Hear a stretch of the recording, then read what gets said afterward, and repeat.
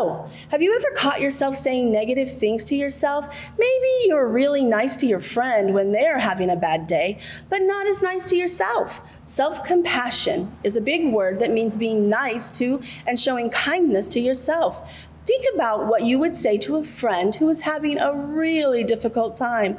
Self compassion involves acting that same way towards yourself when you're having a difficult time. Why is this important? Because the way you think about yourself and treat yourself makes a difference in how you behave and feel. Having self compassion can help you feel good and get along with others. Instead of saying, I give up, I am not smart enough to do this, self compassion may sound like, this might be extra hard today because I did not get enough sleep last night, but I know I can do it if I keep trying.